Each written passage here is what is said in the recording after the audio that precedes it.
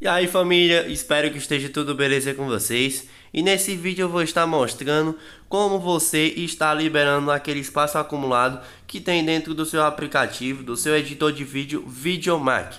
Então com isso você vai estar fazendo com que ele libere um pouco de espaço também até dentro do seu próprio dispositivo. Então se liga no vídeo até o final, mas antes se inscreve no canal, ativa o sininho de notificação e deixa aquele seu like que é para você estar contribuindo com a família JTech.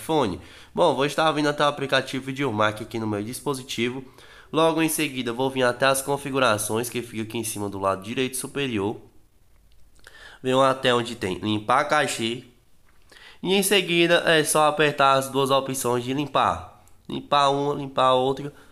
E a partir desse momento já vai ter liberado aquele espaço acumulado que estava aqui de dentro do seu aplicativo.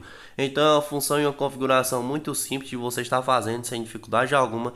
E no mais eu espero ter ajudado vocês com mais essa dica aqui dentro do canal. E até a próxima família JTech Fone.